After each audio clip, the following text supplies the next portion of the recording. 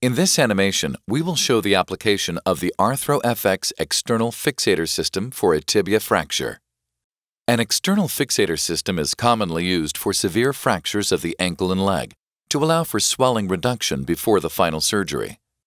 With the use of special instrumentation, your surgeon places two pins in the bone just above the fracture. Next, an additional pin is placed through the heel bone below the level of the fracture. A special clamp is placed onto the two pins and secured into place. Additional clamps are placed onto the pin in the heel bone, and then carbon rods are connected between the clamps and tightened. Lastly, your surgeon places the foot in the correct position and the final clamps are tightened. This completes the application of the ArthroFX external fixator system.